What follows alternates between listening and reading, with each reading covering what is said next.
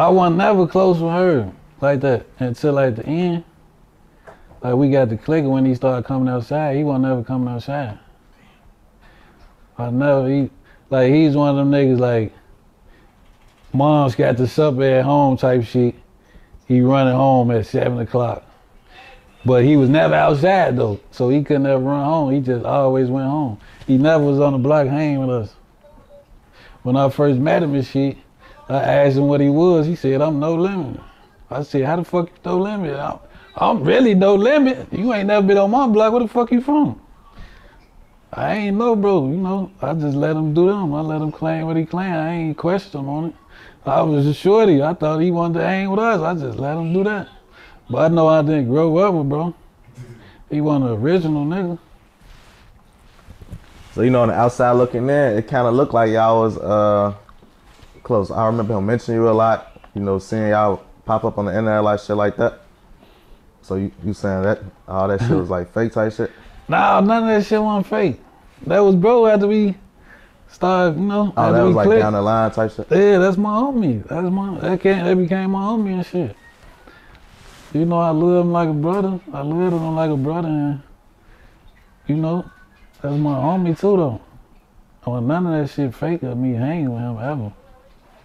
I never do shit. So when y'all met, was he uh rapping already? Bro started rapping like 2000. Yeah, that was like 10. Like the end of 10. That was 10. What year face of that? At 10, at, uh, 10? That was April? What? Yeah, he started rapping at 10. So that probably like the middle of 10 going to the end. That was like the middle of the 10 going to the end. So he like, he started rapping in like 2000, yeah, 2010. So back then, you know, how was that? You know, seeing all that shit going on and a, a lot of probably different attention coming to y'all block shit like that. Was that shit weird at first, or did y'all? Nah, it, the attention wasn't on that shit. Like, bro was just, he just loved rapping and shit a lot. So he'd be rapping on the phone and shit. Like, he never was in no studio yet. He is just, he'd record on a Cricket or some shit like that. What the fuck we had? Some Crickets. Got, got the voice record shit, rap on the phone. You know, the, the, the record shit only was lasting one minute. Bro getting on that bitch, the beat in the background? beat in the background on the radio, just rapping. Showing that shit to the guy, we damn you hot as hell, boy. So you know, how you feel about his success and shit like that? You know, take care of his friends and family shit. His success, I don't support like I love I, I love him for making this shit. I ain't, I want everybody around me to make it. I want every nigga in this room with me with an M or at least six figures if we can't get an M. I want everybody around me to make it. I'm proud of him for making it. But I ain't proud of him for not doing shit for the niggas around him who was around him before he made it.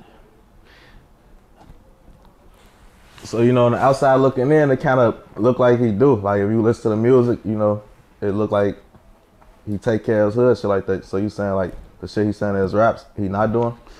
Cause I even heard him say like, you know, his his homies around him, they millionaires, all type of shit in his music. He said, what? I don't know the exact song. I don't want to misquote the lyric, but I, I'm pretty sure somewhere he said. Oh, like, you talking about that one shit you said all his homies millionaires, like his homies gathering and shit. Like, Yeah. yeah. yeah, he talking about other rappers. He ain't talking about like niggas like in the room right here. He talking about other niggas who got on Bibby and niggas like that. He ain't talking about he ain't talking about niggas like that.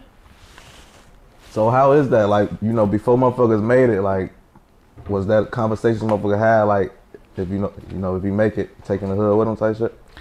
Yeah, every nigga, every nigga in the hood said that when they when they was rapping. Like, why wouldn't the nigga tell the nigga, bro, right here, Mercy rapping, Faro rapping, a lot of Lil Web rapping.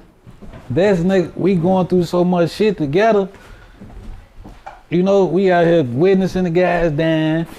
Certain days we out here zero dollars hanging with each other. Like, folks, we gotta, we gotta do better, folks. We gotta, this shit gotta change, folks. You know. So once a motherfucker start doing some shit like folk them doing, rapping and shit, that's every nigga dream to like look out for the niggas who was fucked up when they won, you know? Like when we was all fucked up, that's niggas dream to be like do for your